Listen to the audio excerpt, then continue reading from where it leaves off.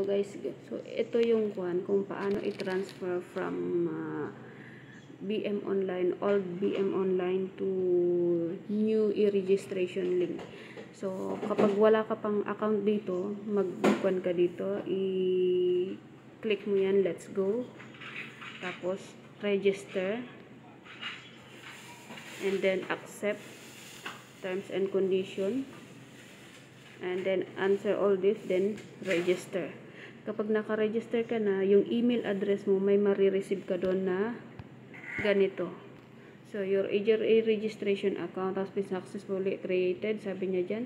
So ito yung temporary password mo. So ito yung e-registration number. So pupunta ka ngayon sa balik ka uli dito. Iba na-receive mo na yun sa email mo balik ka dito. I-back mo lang siya And then, ito, transfer old BM records.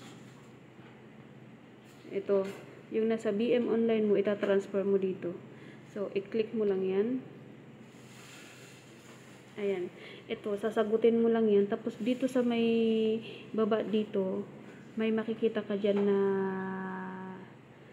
i-registration number. So, yung nandito na-receive mo sa email mo, ito, i-registration number, i-copy mo lang yan, i-long press mo lang yan na ganyan, i-kopya mo, ayan, copy, and then, yun ang ilalagay mo dito sa hinahanap dito sa baba niya, and then, find record mo para matransfer yung sa uh, old to new.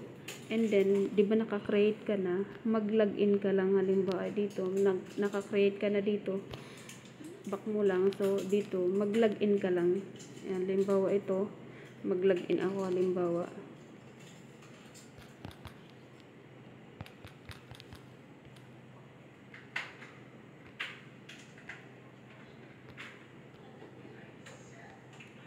So, basta, basta nakapag-login ka na dyan, tapos sagutin mo lang yung mga andon lahat na, kwan, andon lahat na nakapaloob doon. Pero after that, yun nga, yung sabi ko sa'yo, ayan, transfer all BM from BM records to dito. Basta yun lang ang kokopyahin mo. Ito lang kokopyahin mo para matransfer mo sa kwan, tsaka ka mag-login na. So, yun lang po.